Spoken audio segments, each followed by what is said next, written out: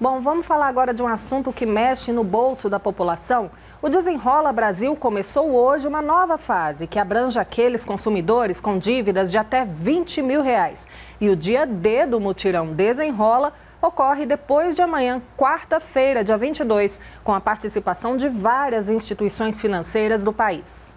Lembrando que o Desenrola é um programa de renegociação de dívidas que começou em 17 de julho. E para aqueles, aquele que se enquadra no perfil e pode se inscrever, confira aí como fazer podem ser renegociadas as dívidas de até 20 mil reais que tenham sido negativadas entre 2019 e 2022.